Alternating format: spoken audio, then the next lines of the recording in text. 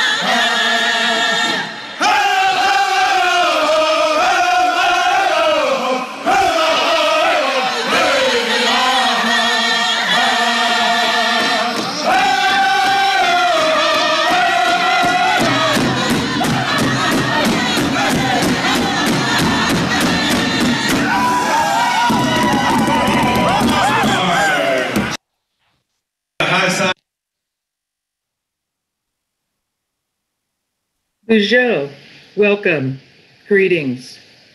We usually start our program with a prayer from an elder in Indian country. Today is a little different. I received news very early this morning that Larry Kozad, who you just saw in the uh, video, uh, thank you, Kozad family, um, he died early this morning. If you are a singer, dancer, drummer, or happen to be at a powwow, you will recognize the Kozad family name. They are famous for their talented drumming, their voices, singing our songs for social, tribal, and intertribal gatherings. Larry was a Kiowa citizen from Oklahoma, a friend, close family member to many of us. Our thoughts and prayers are with the Kozad family, especially Kiowa Charlie, your stepsisters and stepbrother. Larry, I pray you fly with eagles on your journey back to the Creator to join the big drum of those who have gone before us. Thank you. Welcome to another Bright Path Strong virtual event. I'm Nedra Darling, a citizen of the Prairie Band Potawatomi Nation and co-founder of the Bright Path Strong Foundation and executive producer of Bright Path, the upcoming Jim Thorpe feature film. I'm joining you virtually from my home on the original homelands of the Anacostions, also known more in recent times as the Piscataway and Pamunkey tribes of Maryland and Virginia. I hope you are all doing well and staying safe during the continuation of COVID 19 and the variants that have been discovered recently. Remember to double mask, distance, wash your hands frequently. If you're unable to have what to wash your hands, use hand sanitizers. Also, please remember to send good thoughts and prayers to those who have lost loved ones, to those suffering with the virus, and when you have the opportunity, thank our healthcare and service workers for all their hard work to get us through this pandemic. This has been an amazing week. I just have to give a shout out to Congresswoman Deb Haaland, who had her confirmation hearing to become the Secretary for the Department of the Interior. For those of you located in different parts of the world, Deb is a citizen of the Laguna Pueblo tribe, and she's also part Jemez. And when confirmed, she will be the first Native American woman to serve in the president's cabinet for the United States federal government. Deb is totally bright path strong. Good luck, Deb. We are so proud of you. I'm honored to be your host today and want to welcome our partners for the event, Running Strong for American Indian Youth and the Huntsman Senior Games. We are thrilled to have as our special guests today who are two amazing people. If you didn't love them before this broadcast, you're going to love them by the end of this gathering. Biographer, historian, and author Bob Wheeler, and gold medal Olympian Billy Mills. Please post your questions in the chat if you are in the Zoom room, and we are monitoring other social media channels. You can ask questions there as well. As you can see, the talent, power, knowledge, and experience we have with us today could easily stretch over two days, so we better get started. Before we get into the program, though, we want to recognize one of our partners, the Huntsman Senior Games, and to welcome Kyle Case, who is joining us briefly. Kyle, thank you for being here to help start the program today. Well, Nedra, thank you so much for the invitation. Um, we cannot be more excited to be partnering with Bright Path Strong and Running Strong. For those athletes from the Huntsman World Senior Games who are joining us, I want to say welcome. Uh, for those who are not familiar with the games, very briefly, the Huntsman World Senior Games is actually the largest annual multi sport event in the entire world for athletes over the age of 50. We host uh, every year about 11,000 athletes. They can choose from 35 different sports. And so there's a, a, wide variety of options for people to stay active and to be engaged well into their senior years. Uh, age 50 is the youngest uh, athlete that we um, host at the games, but it goes all the way on up to over 100. And so it's just a great way to stay involved and engaged and, and participant. And uh, again, this partnership that we're developing now and the opportunity to work together is very exciting to us. I will put one quick plug in before I duck out, and we're going to get into the meat of the show today. And that is that our registration actually opens on March 1st. So if you're over the age of 50 and you're interested, I would invite you to visit seniorgames.net where you can get all the information, schedules, uh, registration fees, all that is there at seniorgames.net. And we'd like to invite you to be a part of the Huntsman World Senior Games. And once again, Nedra, thank you so much for this opportunity. Kyle, thank you and the Huntsman Senior Games for partnering with us today. We look forward to working with you again soon. And everyone, please go to their website and sign up for the Senior Games. And Kyle, I'm going to sign up for that really slow run walk. Okay, so um, look a, for my name got, there. got a place for you, Nandra, and that'd be wonderful. Great. I'll need a lot of help. Appreciate you being here. Thank you so much. Thank you. Our other partner for today's event is Running Strong for American Indian Youth, an organization that Billy Mills co founded and is a spokesman. He and his wife, Pat, have been very instrumental in the organization's growth and giving back to so many Native communities and Native people over the years. Running Strong strengthens Native communities by creating sustainable generational change and giving families the tools and hope to build a better life. Running Strong believes in the power of Native youth to strengthen our communities, overcome our economic challenges and poverty, and develop deep, deeper cultural identities. Between Running Strong's critical needs program, water connections, winter clothing, utilities assistance, and their cultural programs designed to improve self esteem and self efficiency, they support a nationwide network dedicated to raising happy Native American youth. Running Strong has been helping with the COVID 19 relief, providing thousands of pounds of stable, shelf stable food, hand soap, sanitizers. Uh, they're completing the heat match program, helping families with the $100 matching program for heating bills on the Pine Ridge Reservation. They have a water project partnering with the Boulder City Rotary Club and the Medicine Root Garden program on the Pine Ridge Reservation as well. And I don't want to say that I have a favorite program, Billy, but one of my favorite ones is, um, and they're all very, very important, is the Dream Starter Academy, where 10 amazing Native youth from across the country are given the tools they need to go make a difference in their communities. Each of them has a dream, and Running Strong recognizes that dream with a $10,000 grant and lots of mentor and emotional support. Running Strong Native Youth are not only our next generation of leaders, they also have the dreams to carry out the visions of our elders. Please visit the Running Strong website to learn more about their fabulous programs, and you can sign up for a run or walk with Billy and Pat throughout the year. Thank you, Running Strong, for being a part with us today. We, we enjoy the partnership and look forward to many more things together. Have to talk a little bit about Bright Path Strong, of course. the Bright Path Strong team, myself, Abraham Taylor, Chris Taylor, Josh Aker, Israel Curtis, Bob Wheeler, uh, Flo Ridlin, and Chris Nilsson. Our board members, honorary board members, thank you all for your support and inspiration over the past seven months.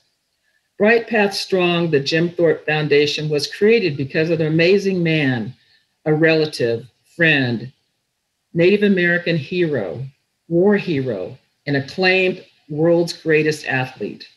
He was the first NFL president, businessman, entrepreneur, American Indian leader, activist, and founder of the LA Indian Center during the Great Depression.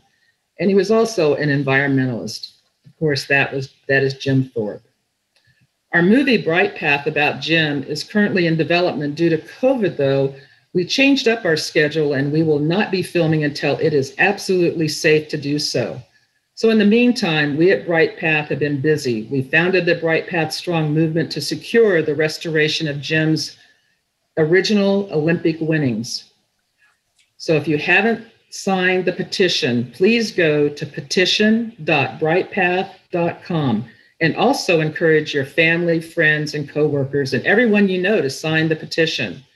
We currently have over 70,000 signatures from people like you who request the International Olympic Committee to honor the world's greatest athlete by restoring Jim's original winning records, which declared him as the sole gold medalist in the pentathlon and decathlon events. The International Olympic Committee currently lists Jim as a co winner.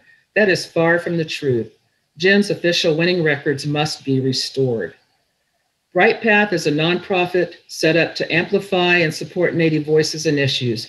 Check out our, our site at brightpathstrong.com and also learn about our new project led by co founder Chris Taylor to bring clean drinking water to Indian country.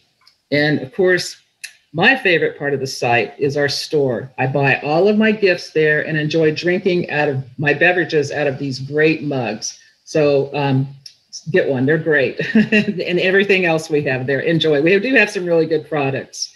So to say all of that better about Bright Path Strong, please enjoy our short Bright Path video, The World's Greatest Athlete. When Jim Thorpe crossed the finish line of the 1500 meter race, the final event in the decathlon at the 1912 Olympic Games, he not only became the first American Indian to win a gold medal for the U.S., he brought home two gold medals more than a decade before American Indians were officially recognized as American citizens. The greatest athlete that ever lived.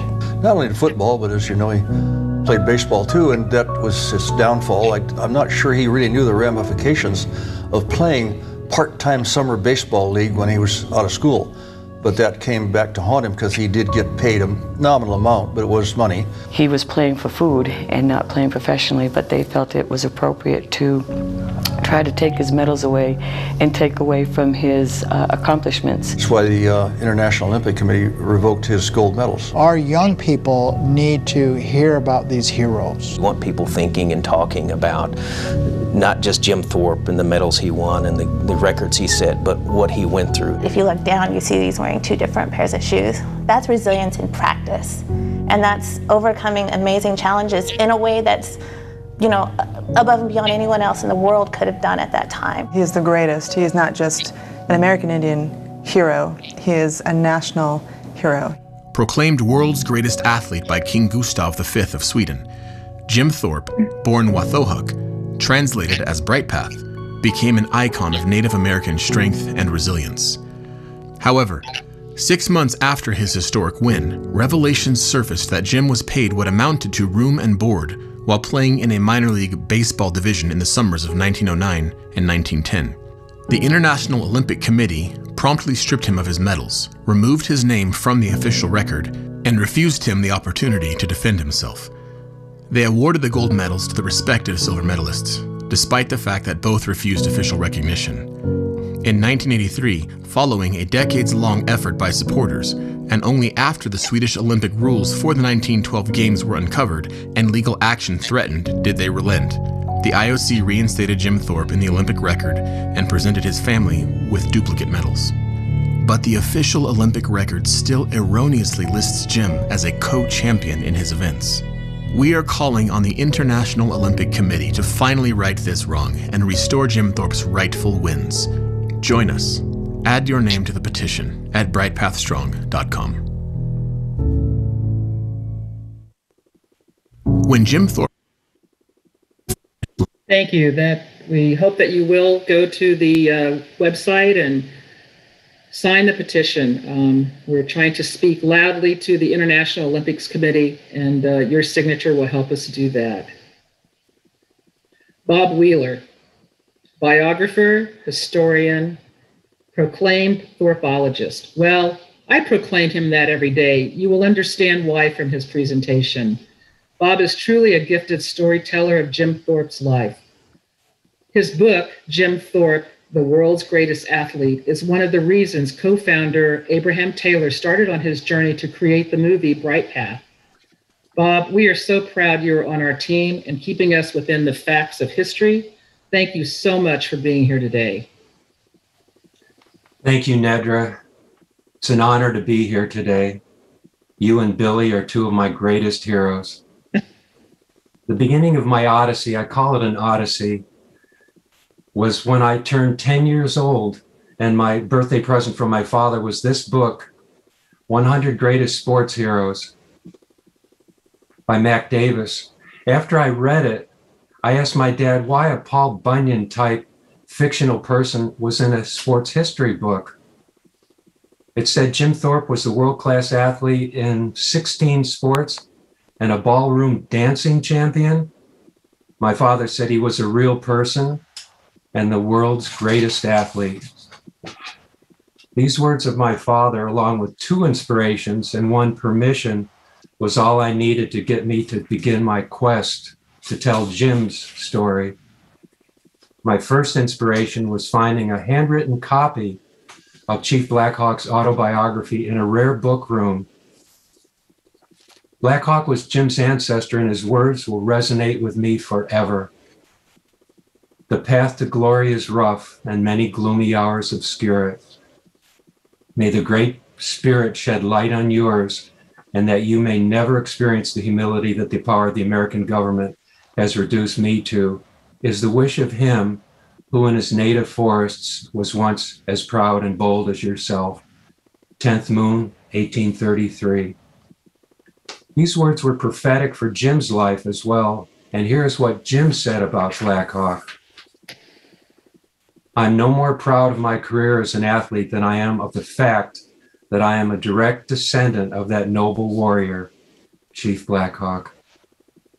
My second inspiration was when I wrote to the top 10 sports historians. Incredibly, only one answered Colonel Alexander M. Weyand, a West Point football All American, but it was a pivotal response.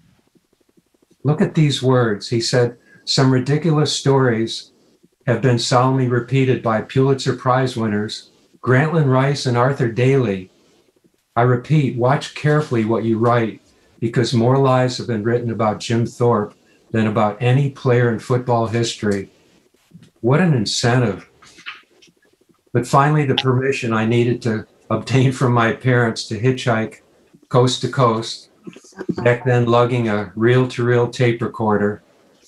But since many of Jim's contemporaries were approaching their 90s, it had to be started soon. I showed my mom and dad a hand drawn map of the United States that Leo Lyons created for me with names and addresses of Jim's NFL teammates and competitors. Leo co founded the NFL with Jim in 1920 and was the honorary historian of the NFL. What an incredible gentleman. With that template, I hitchhiked 12,000 miles and conducted 200 interviews with Jim's all of Jim's children, his childhood, many of his childhood friends, classmates, and teachers. Incredibly, some were millionaires and some were homeless. I would talk to them on street corners in Detroit, for example. One thing in common with all of them, however, was as President Reagan said to me, Jim Thorpe was my greatest hero. Jim's widow, Patsy, let me use Jim's private papers. And I'm truly blessed to be the only writer to ever have access to them to this day. That's a story for another time. No one turned me down of all the people. No cell phones, no appointments. I left with $200 in my pocket and I returned with $200. Even President Eisenhower offered me $20 when I visited him in Gettysburg. He was worried about my hitchhiking. I didn't accept his kind offer. There's so much to tell you about Jim that I have selected just a few stories to mention here and chosen a few voices from the past to let you hear what others had said about him and what he had to say about himself. Born in 1888 with twin brother Charlie, near Prague, Oklahoma. They were of Sac and Fox, Potawatomi, Kickapoo, Irish, and French lineage. Charlie died at eight. Jim's mother died when he was only 11, and his father passed when he was 16. Jim talked over a thousand school assemblies. I have hundreds and hundreds of his speeches, but the one sentence I thought would resonate with you today is he wrote, I never met a wild horse I could not catch, saddle, and ride. My life was lived in the open winter and summer. I was never in the house when I could be out of it. Boys and girls who would grow up strong must lay the foundation in a vigorous youth. I think that's very relevant today because a, a recent survey showed that uh, 85% of teenagers, when given a, uh, an afternoon off, would would rather stay indoors than go outside. In 1911 and 12, as a student at the Carlisle Indian Industrial School, Jim became a track and field star and football All American. You all know that, I think, but he was also captain of the basketball team. And there's his picture there. I'd like to tell you the story of how Jim made the track team.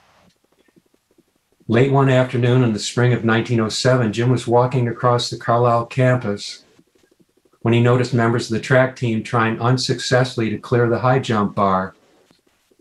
Jim, in his words, wearing overalls and a hickory shirt, asked if he could try. They kind of snickered a little bit, but he gave it a try, and on his first attempt, he cleared the bar. The very next day, Coach Pop Warner sent a messenger to him and said, Do you know what you have done? And Jim responded, Nothing bad, I hope. Bad, you have just broken the school record at five feet nine inches, was the reply. Just for the record, later on, he jumped six feet five inches. And then I thought the uh, how he got to be on the football team happened the following September. He begged Pop to let him try out, but Pop said, No way, you're my top track man. But he pestered him very determinedly for a couple of weeks. And finally, Pop gave in and handed Jim the ball and said to the team, Have some tackling practice. Jim proceeded to run around and threw the entire team. After he did it a second time, he tossed Pop the ball and said, Nobody is going to tackle Jim. My personal favorite play of Jim's in 1911 was against Pitt when he punted the ball 70 yards from the 10 yard line, sprinted down the field, outlet five Pitt players to catch his own punt, and race 20 more yards for the touchdown. In 1912, the next year, the national championship was on the line when Carlisle traveled to West Point. This game was such an epic, there's been books written about it. It was to be Army's roster of 30 players against Carlisle's 12 man team, were also smaller in stature but faster and more elusive. Despite the disparities, Carlisle prevailed against the cadets with seven future generals on their roster. I was fortunate to interview one of them, President Dwight D. Eisenhower. Here's what he had to say. They like to write when you tackle them. That ended your career. They like to make a big Oh, thing out of it. no, no, So no. you played after that. Oh yeah, I played. I was hurt in the Tufts game. I wasn't. I wasn't hurting at all in the in this game. He can do everything that every everybody else can do. Anybody else can do it. He can do it better. And we saw him just without the slightest form, just put the football on his foot and kick it out 60 yards and punt. There's no trouble at all. We we were standing back there, looked like from 75 yards. You know, he, he just boomed the ball, wasn't spiraling or anything else, just boom down there. That's all there was it. And he could throw the ball, he could run, he could tackle, he could do anything. Before talking about Jim's 1912 Olympic triumphs, let me mention a few interesting facts about his professional sports career. When Jim left Carlisle, he played professional football and baseball. Are you ready for this? For 16 years with overlapping seasons, no breaks. For relaxation, you're probably wondering what he did. He would go on hunting trips. In his last Major League Baseball season, he batted 327 with Boston. That was in 1919. And the next year, can you believe this? He was co founder, as Nedra mentioned earlier, unanimously elected first president of the NFL, as well as a coach and the biggest star of the league. He demanded that pro football be integrated. I love this, this element as well. Henry McDonald said, Jim's word was law. Another co founder, George Halas, some of you may know, the former coach and owner of the Chicago Bears, told me this about Jim's sportsmanship. I happened to catch a pass when I was tackled from behind, and I was still trying to crawl a few more yards. And Jim Thorpe could throw his knees right into my head or shoulders or ribs. But instead of that, as I was on the ground crawling around, you know, on leg, on knees and arms, why he just he just sat astride me and bore me to the ground. He said, "Well, if you're a horse, I'll ride you." And here's Jim himself. I love this one, talking about the fans and the fun he had playing the game.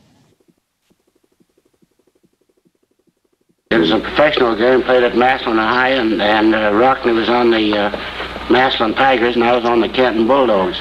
And he played left end, and I was playing left halfback. Consequently, I had to go around his end. And he slipped through and tackled me for a couple of yard losses. And I said, a boy, Rock. I said, you're doing fine. But I said, look at the people come up here to see old Jim run. How about letting old Jim run? and uh, he said, well, if you think you can get away with that, he said, I'd like to see you. So the next time I carried the ball around, I hit him in the side of the head with my knee, spin it off for a 60-yard touchdown. And on the point after touchdown, why, here come Rock with a player under each arm, all wetted down with a sponge, and I walked up and patted him on the shoulder. I said, that a boy, Rock, you let old Jim.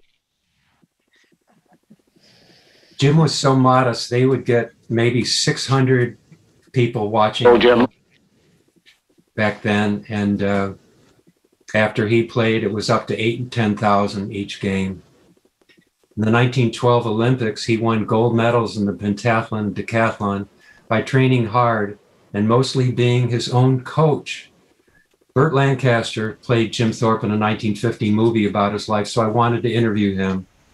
Without an appointment, he agreed to meet with me and politely told his co stars Ossie Davis, Telly Savalas, and Shelley Winters to take a break so he could talk with me about his hero, Jim Thorpe.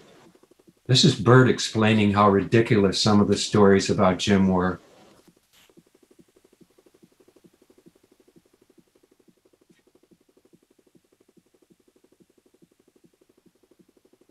There was uh, one story told to me that Thorpe would often sit drinking a bottle of whiskey while he was practicing uh, what we call the long jump now, and then he'd just put it down and go out and jump like 24 feet 11, which was fabulous in those days. But you see, these are the kind of stories that, by the very nature of them, they sound phony. You know, as you say, if you know anything about training, you can imagine the kind of condition you must be in for a decathlon. I mean, it's there's nothing to compare with it. I mean, even a mile runner who runs 125 miles a week in preparation and all. I don't think has to work harder. That is if he's going to achieve great results than someone who does the decathlon and does it well. It's unquestionably the most grueling and demanding of all the track and field. And Thorpe uh, was head and shoulders above the average athlete of his particular day. In the in uh, Jim's uh, mentor at Carlisle and lifelong friend Albert Exendine had this to say about Jim and his Olympic achievements. Now, uh, Jim course, he was a good athlete, all-round athlete, everything. But you take the Olympic fellas of today, you know that. They practice Olympics years around, for several years. But uh, Jim Thorpe was out there playing baseball. He didn't try, have, try it all for the Olympics, but Pop Warner got him up there, thought God so should make the Olympics. So he gave him a trial in all those events up there and he just picked it up and thought, thought I was really a track coach. But then, anyway, he uh, picked it up and uh, without any previous training, see, except in a year or two there. He went over there, man, gosh, he set the world on fire, you know, as an Olympic man. You know, he was sweet, went out there and greeted him. He says, you are the greatest athlete in the world. Thorpe says, thank you, King.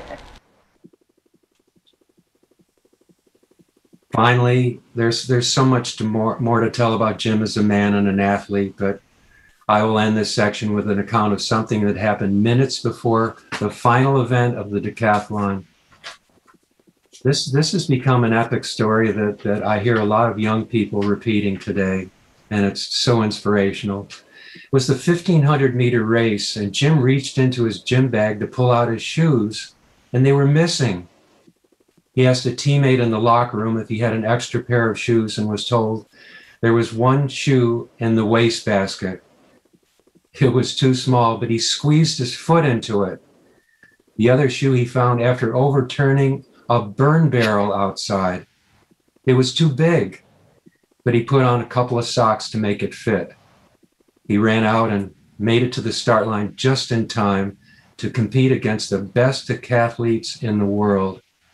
He won the race in record time and the gold medal. I think this story sums up much of what there is to know about Jim and his resiliency and determination in the face of challenges. Thank you and Bright Path Strong. You are Bright Path Strong, Bob. That was fantastic. An amazing presentation. And Thank you for digging deep in your archives that you had personally um, with each of these uh, interviews. Uh, that's just uh, priceless material. That is great. It was so good to hear his voice. I, I'm distantly related to Jim, and I've heard about him all my life, and to hear that voice every time just goes right into me. Just it feels so great. So thank you for that. Um, you know, your your work of a lifetime about Jim Thorpe, who was just such an incredible athlete. So uh, we're going to now move. Speaking of another incredible athlete, to Billy Mills, the gold medal Olympian in the 10,000 meter run at the 1964 Tokyo Olympics. Billy's victory is considered one of the greatest Olympic upsets, and he will tell you more about that in a few minutes. Billy, thank you so much for being with us today. I've known you for many years, and I'm so excited to be with you again. The pride and honor we Native people hold for you in our hearts and soul runs very deep. We have this amazing connection with you. But in preparation for this event, I also found that true for your athlete colleagues, fellow Olympians, and your many, many fans. Billy, you are still and will always be our hero. Billy Mills, 1964 Olympian. Can you run it, please?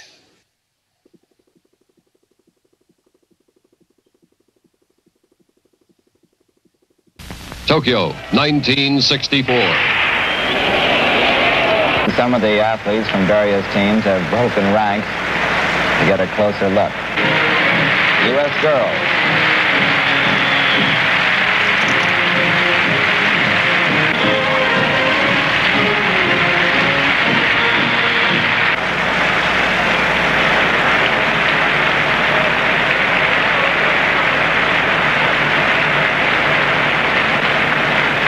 Yoshinori Sakai is now passing by the bands and through those traditional Japanese drums.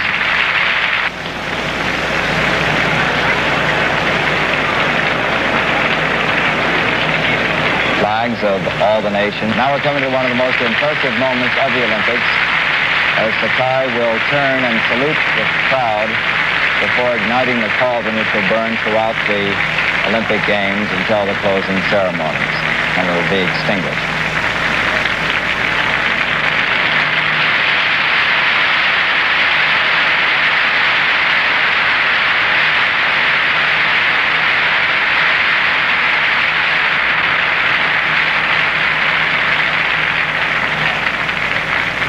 There it goes. The stretch produced an amazing finish by Billy Mills. In the final lap for the gold medal in the 10,000 meter. And up front is Bill Mills. He's pressing Ron Clarke, the world champion. Bill Mills of the United States, number 722, is leading Ron Clarke.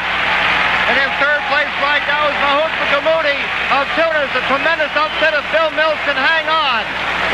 But Gammoudi goes out ahead as Gammoudi right now leading in the 10,000 meter. Ron Clarke is third. Rather, Bill Mills is in third. Ron Clarke is in second right now. This is the final lap for the 10,000 meter. The unheralded Mahout Gammoudi of Tunis is putting on a tremendous sprint. He's out ahead of Ron Clarke. Bill Mills, the United States, is in third place. This will certainly be the fastest 10,000 meter ever run by an American. Here's Mills, who seems to be boxed in. Suddenly there's an opening, and here he comes. Here they come down the final lap. Can Ron Clarke catch Gammoudi? They're going through the field. He's coming up. He's passing. Look at Look at neck. Look at Mills. Look at Mills. Coming on. Mills is coming on. Oh. It might be Bill Mills. What a tremendous surprise here. Bill Mills of the United States wins the 10,000 meter. Bill Mills of the United States, a tremendous upset, wins the 10,000 meter here. His unheralded winner from Kansas. Let's go back and look with our other camera to see exactly how he broke through the pack. Here they come down the final lap. Can Ron Clarke catch Gammoudi? They're going through the field. He's coming up. He's passing Gammoudi. Look at Look at neck. Look at Mills. Look at Mills. Coming on. Mills is coming on. Oh. It might be Bill Mills. What a tremendous surprise here. Bill Mills Billy Mills, the only American ever to win a gold medal in the Olympic 10,000 meter run.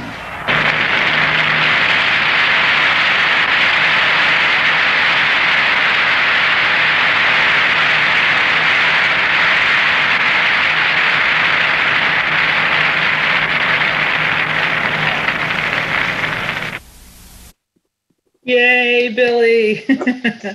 I, I just have to say, Billy, in the chat, it's people are clapping and they're saying they can't watch it. I have tears in my eyes. They've got tears in their eyes. And, you know, watching this uh, when I was much younger, um, I, you know, I, the yells that I heard there, they were echoed where I was on our reservation at that time. So we are so thrilled you're here. I'm going to turn it over to you now. Thank you.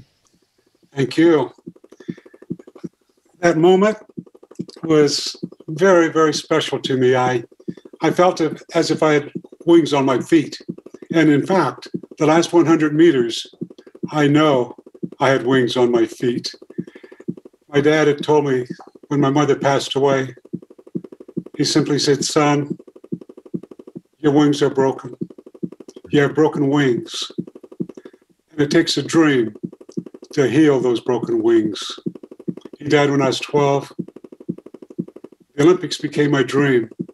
They became my catalyst to heal broken wings. On the victory stand, 1964, Tokyo, Japan, our national anthem is being played. It was, it was inspiring. It was powerful. It was beautiful. And yet, intermingled with the deep love I have for our country was an equal feeling that I did not belong. And coming back to the United States from Tokyo, new doors were opening for me. Those doors that opened would allow the half white side of me to enter, but not the Lakota side of me. And I was confused. Why? Why is only half of me being accepted? I wanted to know how many other people, how many other athletes felt that way. I wanted to know Jim Thorpe felt that way with all that he went through. I wanted to know if other athletes did. So I set on a journey. My journey was going back to understand, study the fa- past footprints of our history. And I also studied Native American athletes. So as I looked at that incredible presentation of Jim Thorpe's achievements, Jim Thorpe to me was a god. He was an Olympic god. And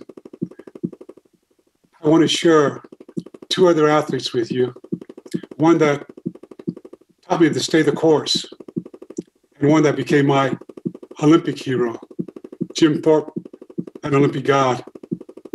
And then I want to share with you what I found in common with them and the footprints I had to learn about to see the future, the horizon of our future, and how we as a country, for example, can heal.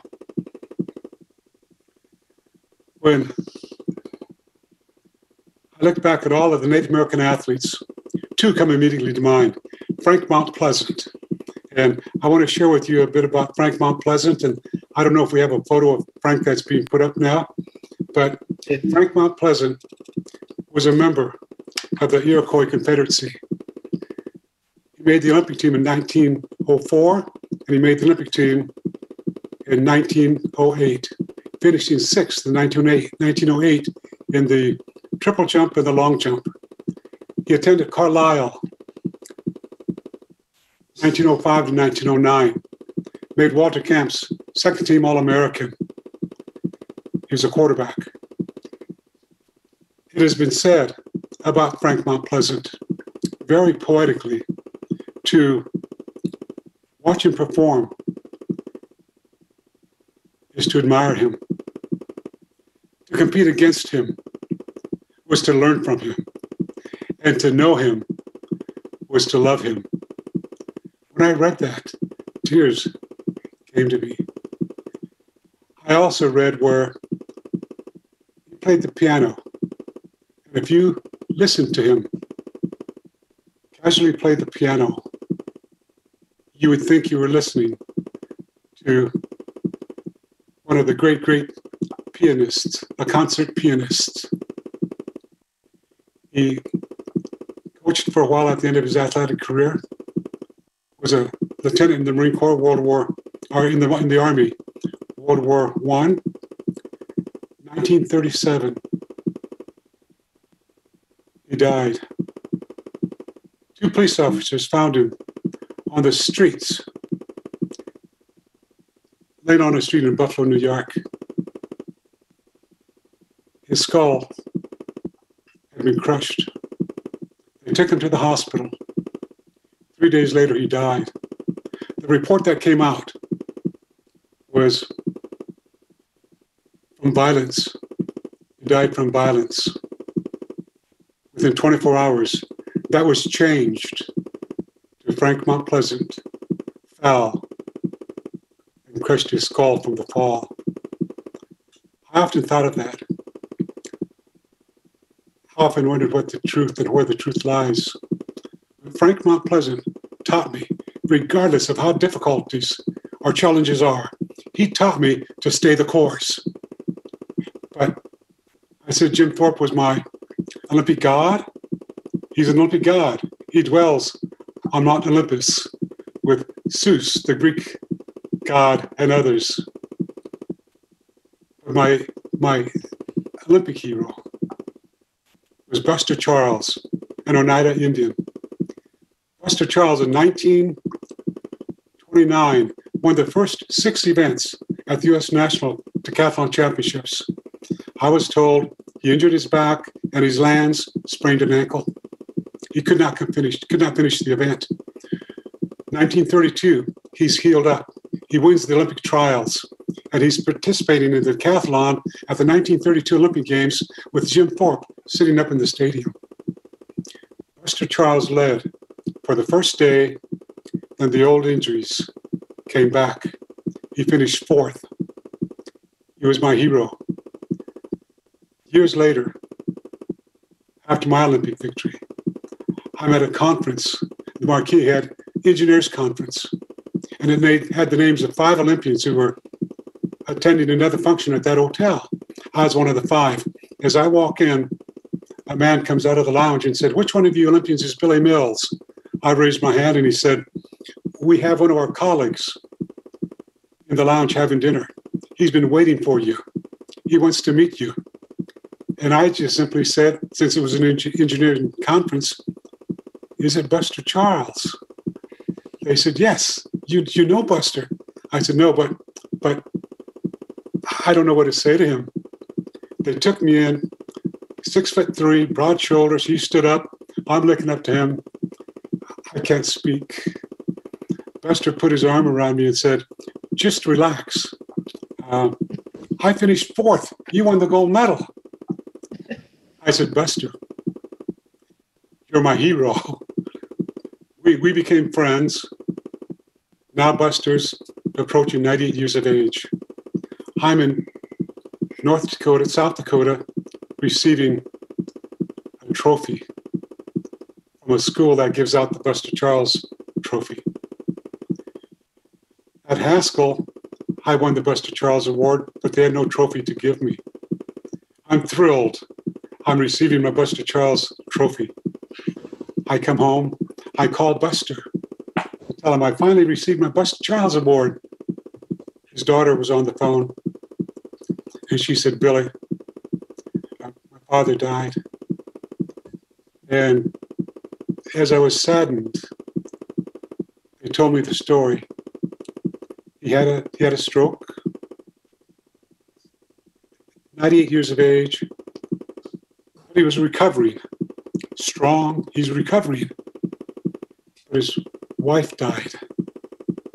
When Buster was strong enough to hear the words that he lost his wife, they told Buster she's on her spiritual journey. Buster simply said, When did she die? They told him. He said, There's still time. There's still time for me to catch her. Like an Olympian, swifter, further, faster. Buster quits eating, starves himself. He passed away to join his wife. Together they went on their spiritual journey. Buster Charles has been my hero from the time I was a child. I learned from Buster. I learned from Frank Mount Pleasant. I learned from my Olympic god, Jim Thorpe, Bright Path. On my journey, I found that I was related to them in many, many ways just by life and by the footprints laid on Mother Earth. Want to share with you, we are all related from this manner. I went back to 1493, trying to find, understand why, why only half of me is accepted. And I studied the doctrine of discovery. I'm a Christian man who's taken Lakota virtues and values to follow as a Christian man. So what I'm going to say is not an attack on Christianity. It's not an attack on Jesus Christ, but it shows you how we need to understand the words we choose to speak. We need to understand the power of perceptions. They can create us or destroy us. 1493, courtesy of the Vatican, the Pope wrote the Doctrine of Discovery. America today needs to understand it. The Doctrine of Discovery simply said any new lands found in reference to the New World can only belong to the first Christian monarch that discovers them and the inhabitants of those lands, the indigenous people. Based on archaeological digs, estimates of, of 60 to 100 million indigenous people on land on the shores of the New World. Only people that can own land would be the first Christian monarch that discovers them. Those inhabitants must come under international rule of law. Their laws, their religion, their songs, their dance, sacredness of the drum no longer applies, and they must submit to Christianity. But then it was quickly realized if we became Christians, we could own land. So that's the dark part of our history, where they said we had no souls, we're not human.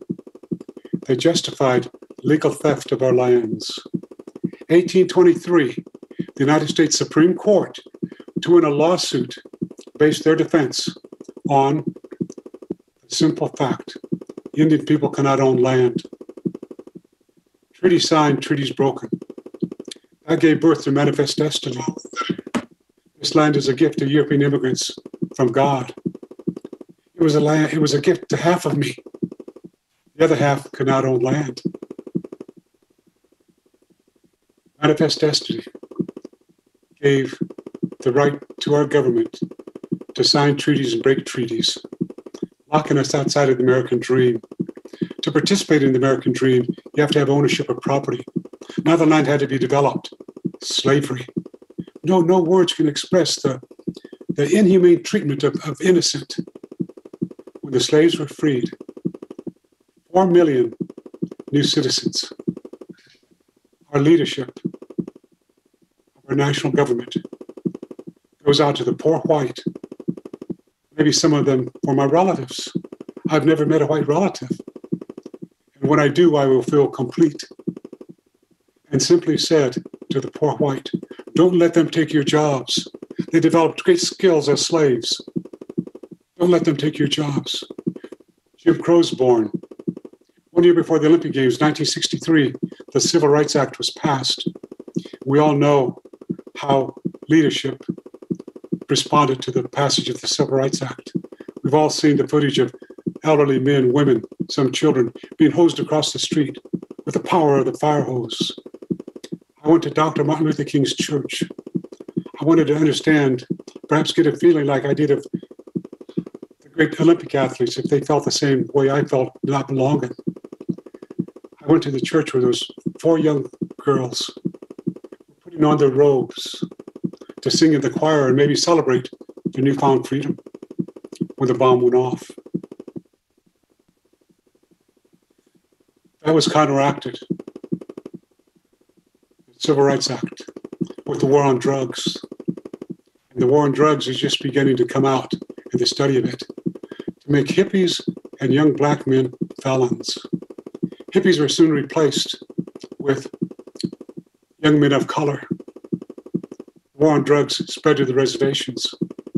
Many of our reservations today seventh, eighth, and ninth grade girls have to find a different place to sleep every night because if you're on meth, your first quest is the advantage of the innocent. The footprints, what I found, the doctrine of discovery, manifest destiny, treaty signed, treaty broken, slavery, Jim Crow, the war on drugs, are etched into every fiber of our social way of life, our educational system, our political system, our entrepreneurial system, forever dictating our rule of law. And two things were created generational trauma. I have generational trauma in line with Jim Thorpe. Frank Mount Pleasant. Maybe generational trauma contributed to his death, I don't know. Buster Charles. But it also created generational privilege. Half of me had doors halfway open to profit from generational privilege. I've tried to reject and stand by the grandmas that I saw who had no voice. Generational trauma, generational privilege, today in America, are being challenged to come together. Generational privilege created systemic racism. We all have in common either generational trauma or generational privilege from systemic racism. That's the challenges people like Jim Thorpe faced, Frank Mount Pleasant, Buster Charles. That's the challenge young people, future generations will, will face. Sport taught me to come together. Sport taught me global unity through the dignity, character, beauty of global diversity the future of humankind if we choose. But that's also the future of America. So, in closing, I want to dedicate a 90 second video about dreams, the Bright Path Foundation, to a Running Strong Foundation, to all of mm-hmm. those that make our dreams come true. When the video is over with, it's 90 seconds. I'll close in one or two minutes. Let's have the video. I dedicate this to you. Oh, thank you. Special. Amazing grace, how sweet the sound that saved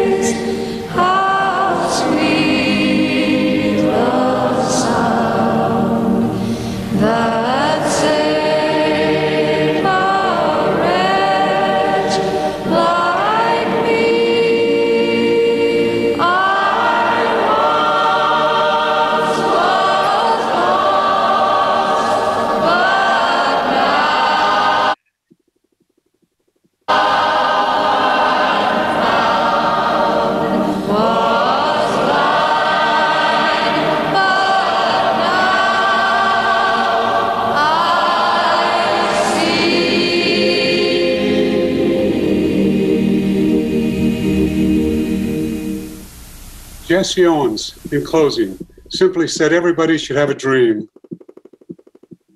Running Strong for American Indian Youth has dreams. Today, we support Bright Path Foundation's dream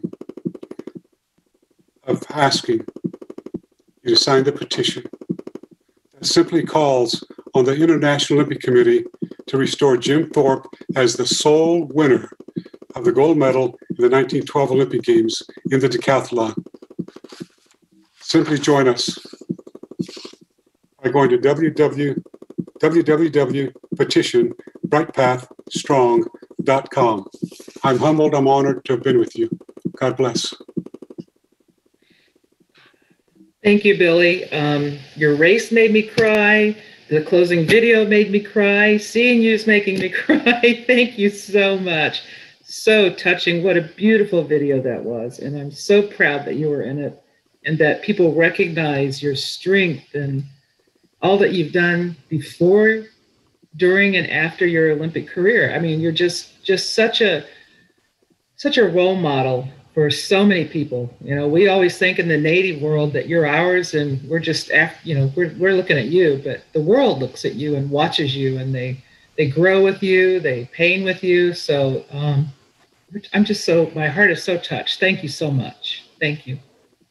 And for those of you uh, out there, we're running short on time, but I do want to uh, really accept the embrace that Billy made to our organization. And when we were struggling of the name of how to get our organization named and uprighted, he was so Billy was so gracious and very encouraging and, and just supporting us. He and Pat both and and I would write them a note and they would write back and it just it just was so great to have them beside our our side all the way and to know they're going to be with us throughout is is tremendous and you know, we struggled with our name. And so finally I called Billy one day and I said, you know, we kind of landed on something and I need your permission on this. And it was Bright Path Strong. And he said, absolutely. So we feel strong and, and we're all strong together. And uh, we want everybody to know that. And thank you, thank you, thank you, Miigwech. I I don't know what to do. We're running out of time. If those of you out there have to go, we understand. And I cannot believe the fabulous stuff coming in from all of you that are are typing little notes in the chat. Thank you. Uh, oh, I could go on the list. I started writing things down. It gets too numerous, but one that I feel like I have to talk about is Billy. Your cousin in California says hello and that you're doing a great job. I guess you'll know who that is. and um, uh, Manuel and Karen, thank you for your wishes. I'm assuming you're the Karen and Manuel that I know in Virginia uh, for all Bob, Billy, and I, and everything. And um, oh, just there's just so many coming in. It's just terrific. April H, I think I know who that is, and thank you for your wonderful words. And we do have a couple of questions. No, we have several questions in our queue. So um, again, put your questions our way. And Billy and Bob, if you have a few more minutes, can you stay on to answer some questions? Sure. Absolutely. Okay. And I do want you to know also, Billy, there's a special uh, chat in the chat, and I hope the young man doesn't mind me calling out, but um, I think that uh, we need to acknowledge that he wanted you to know that he was somebody watching the race at Chemawa Indian School during his senior year, and you made such an impression on him. So thank you. And Bob, many thanks for your research have come in as well. So this is fabulous. We're going to start with, uh, oh, I recognize this young woman, uh, Naomi Taylor. She's nine years old from Park City, Utah. She asked Billy, what do you think about schools and professional teams changing their mascots? Is this a movement you support? Thanks. You support the mascot changes? Oh, absolutely. Yes, I definitely support the mascot change. Uh, we're, we're, we're not mascots. exactly. We're- Great. our And Naomi, Traditions, our spirituality is sacred. Yeah. Naomi, thank you for that question. And uh, I hope that um, if there are any of those mascots in your area, you will join us in, in saying, no more mascots, please.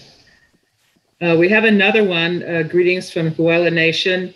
And their question is Have other Olympic athletes of color expressed this level of injustice that Jim Thorpe did? And if so, could those athletes be used to establish a precedence of the committee to deny athletes their winnings based on color? Now, the, the only, the only, excuse me, the only way I would try to relate that is there have been athletes now that have been for two or three years, they've had to not, they were not allowed to compete because they were performance enhancement athletes that were caught taking a particular drug. They had to sit out for so many months or a couple years, then they could come back and compete.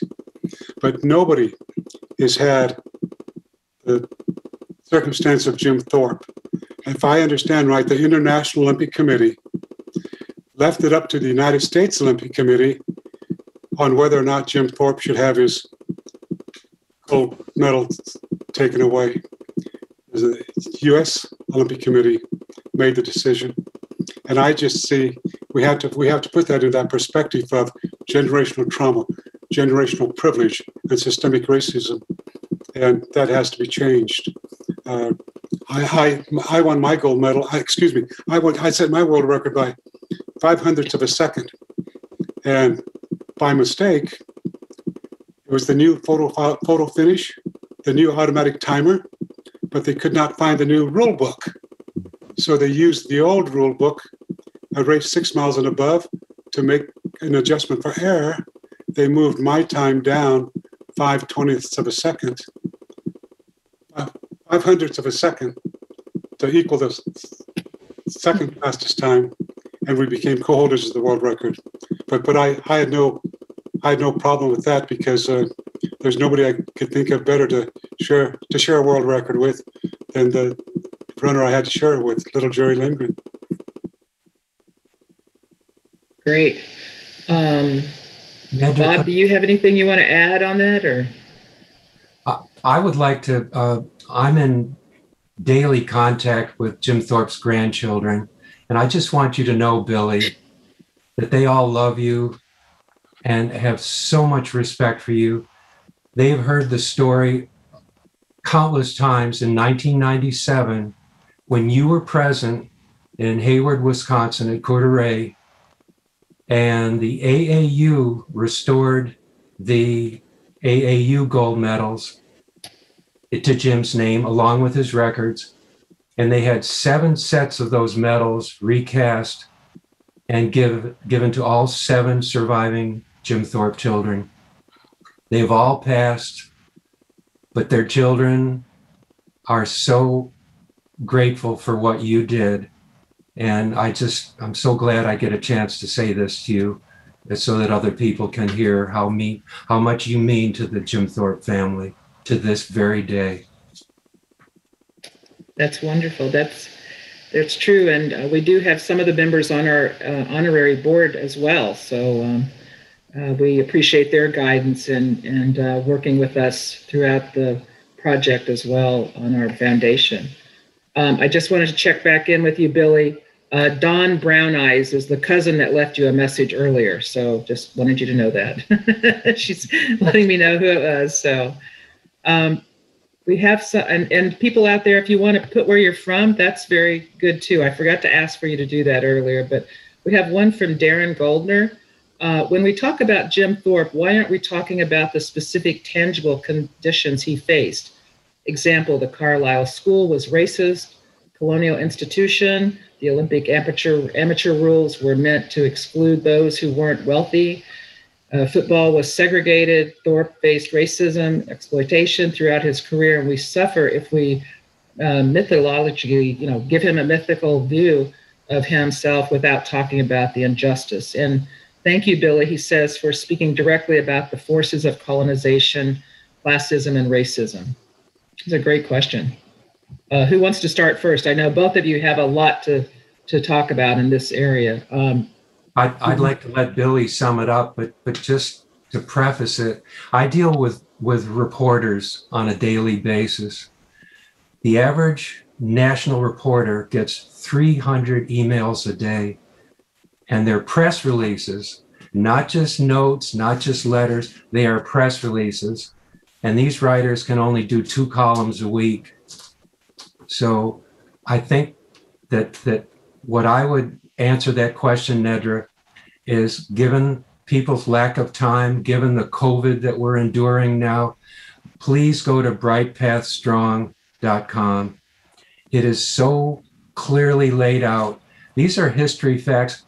I got a letter yesterday from a top historian said, I hope a new Olympic history book of the 1912 Olympics and Jim Thorpe will be written because so much information has come out that that proves the racism that Billy is talking about with documents from the Carlisle Indian School, the Cumberland County Historical Society, and the Dickinson College.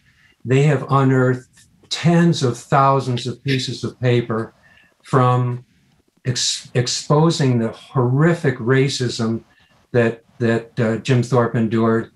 I think Billy probably knows this, undoubtedly knows it, but Jim Thorpe's roommate, the quarterback of the team, Gus Welch, started a petition, a student petition at Carlisle, unheard of, after the uh, gold medals were re- revoked from Jim Thorpe, saying that we've got to expose the the racism, the uh, stealing of money, the horrific treatment that we're enduring. And Gus Welch went to Congress. They came in to Carlisle unannounced, and that began the end of the Carlisle Indian School. It shut its doors forever in, tw- in 1918, and it was started by a student petition who witnessed Pop Warner barging into Jim's room with a confession uh, for for his uh, playing summer baseball that Pop Warner and Moses Friedman, the superintendent, had written, and forced Jim to sign it as if it were his own confession. It so outraged Gus Welch that he started a student petition, and it ended up with the closure of the Carlisle Indian School forever.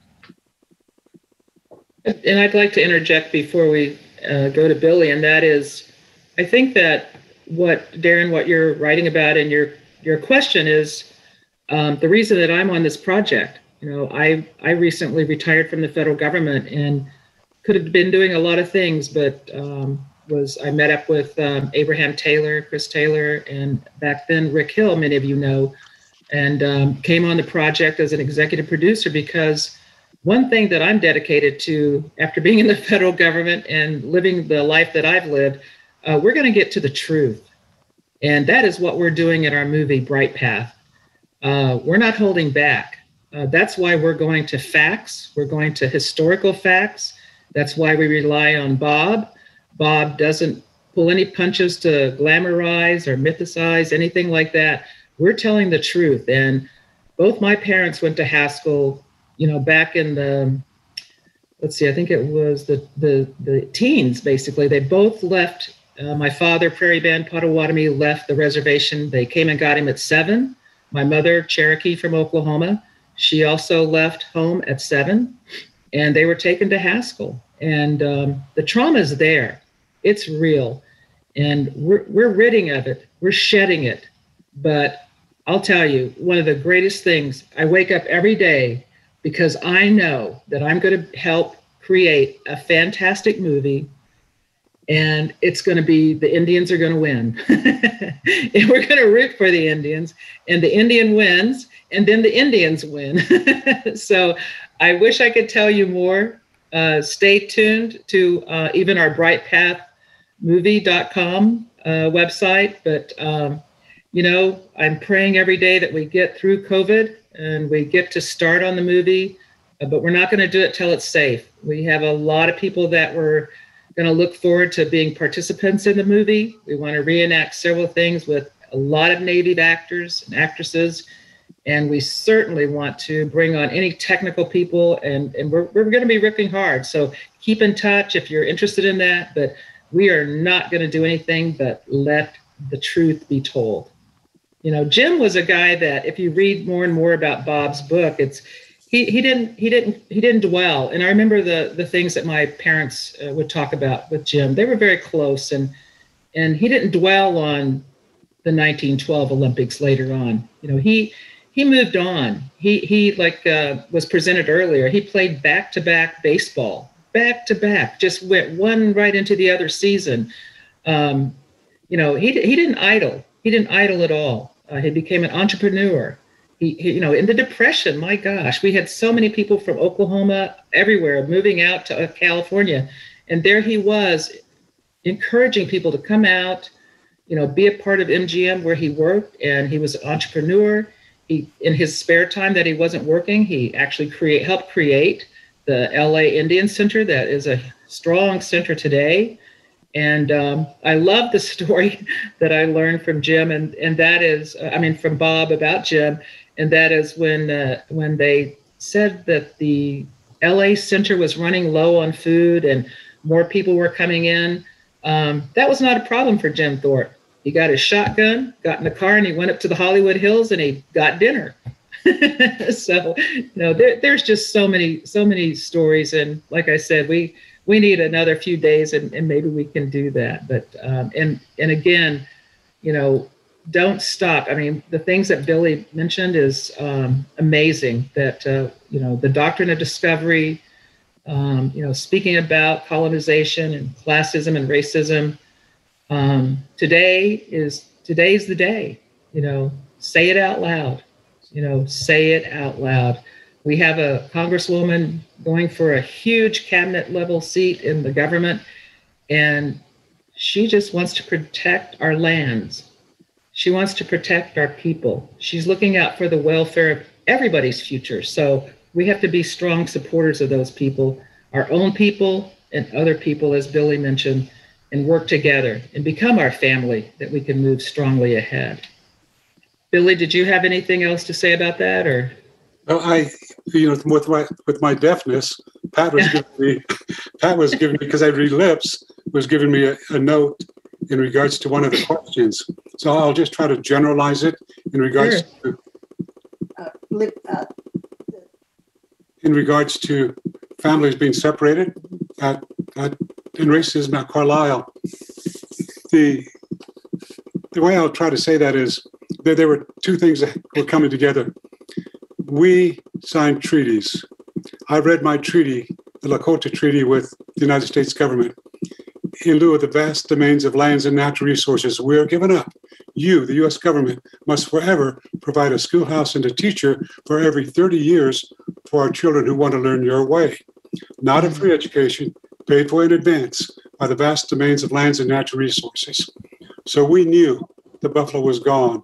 We had, to find a new economic source.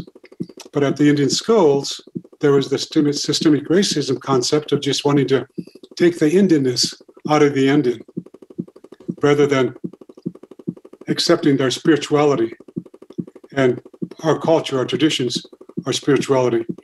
And that's where our virtues and values come from. Instead of letting us extract the virtues and the values of our culture, traditions, and spirituality and put those virtues and values into our educational pursuits, they tried to totally take, quote, the Indianness out of us. Pine Ridge, my reservation, was the first to go to Carlisle. One promise was made let our young boys grow into young men, let their hair remain. As the buggies, the wagons were leaving the campus, you could hear the little boys crying as their hair was being cut. So that con- conflict continued and it still exists today without dwelling on explicit forms of racism. But my personal experience going to Haskell, I met Coach Tony Coffin, Potawatomi Indian. He was like a second father to me. He taught me to take the culture, the traditions, the spirituality, like my father was trying to teach me, extract the virtues and the values, and put those virtues and values into my pursuit of my dreams for direction, for confidence, for clarity of mind. So my experiences at the boarding school were very sacred. I had teachers that tried to empower me as a young man of Indian ancestry, not take the Indianness out of me. So I, I was very, very blessed, but I'm well aware of the generational privilege that created systemic racism and how that filled the hallways of our boarding schools. And a follow up to that, uh, there's a question, Billy, for you that is asking Could you briefly share who took care of you after your mom died? And then who took care of you after your dad died? And I think you kind of answered it, but if you could direct it more toward that time period, they would probably appreciate that. I, I, I was blessed because I had an older brother, Sid. He was kind of the overseer, but who was the worker bee that really took care of me. and it was my older sisters. Uh, our women are sacred. Uh, my sister Margie was always there for me. My sister Moni, Ramona, was there for me. My sister Thelma was more my age, and Mark's older sister Margie and Ramona was there for my sister Thelma. My older brother Sid, though, became our father. He became our mentor. So I had the older brothers, my brother Walt, and then I had other extended family that was there. But generalize it, who took care of me was my older and younger brothers and sisters. I knew I was cared for. I knew I was loved. And simply by how they would look at me, I knew they did not approve of what I was doing. And to try to meet their approval, I tried to do things better. But I was blessed to be taught take the culture, traditions, and spirituality, extract out the virtues and the values, and put those virtues and values in my daily living. So, half Lakota, half white, I was blessed in many ways to be trying to live the spirituality of the Lakota way. Mm, beautiful. Yeah. We love those older siblings that when um, parents are busy and so much is going on, they step in and make sure we're doing the right things. I'm speaking as the youngest child, of course, by many years, but anyway, that's great. Uh, bless Sid's heart, actually. so, um, there's another question, Billy, and I'm I'm uh, sitting here thinking, why didn't I ask you this myself? Um, um, is there a new movie about your life story? Uh, what do you want to include that wasn't included in Running Brave? Um, and tell us how that movie changed your life. Tell how Running Brave changed your life, and if you had another movie, how you would change, how you would make it different. Okay, I, Running Brave did not necessarily change my life.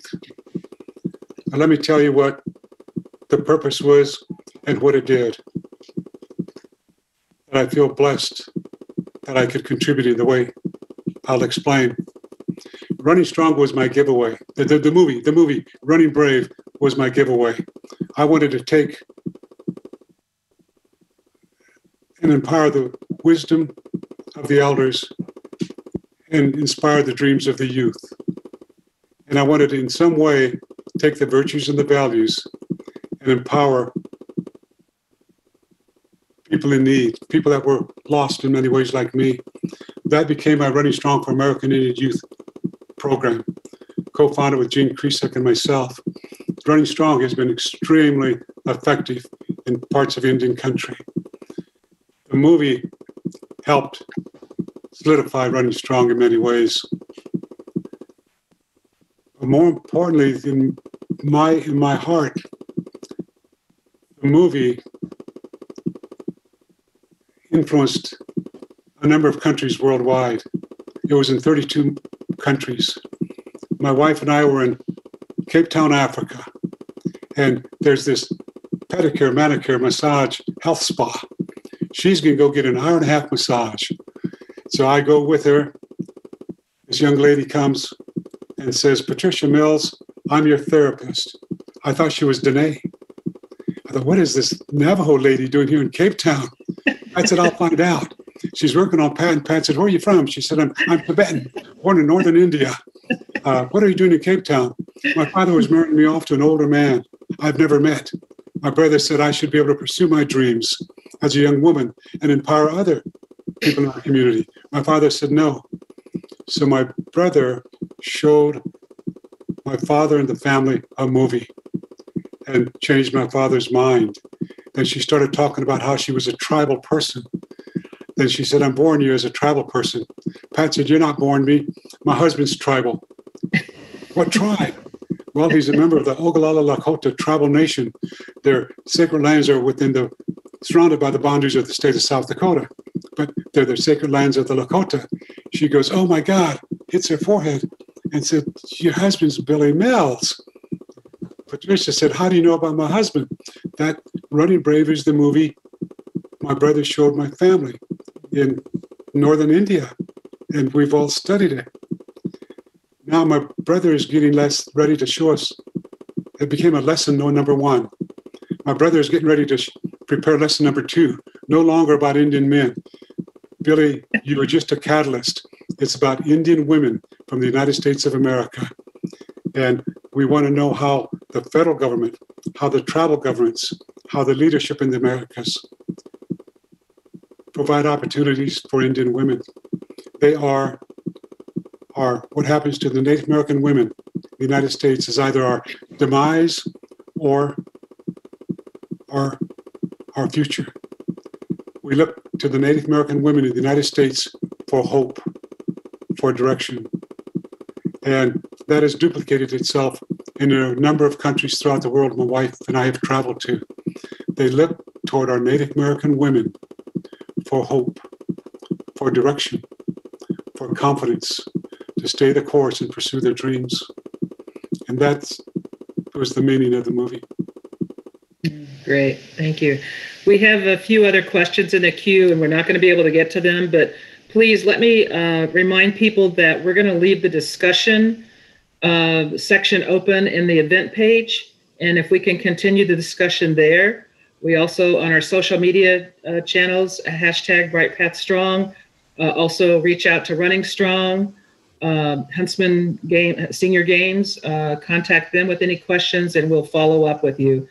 It has been an amazing, amazing time with you today, and I just uh, want to thank again, you know, Billy. Um, you're just wonderful. You know, you're just fabulous. Bob, you're you're tremendously fabulous too.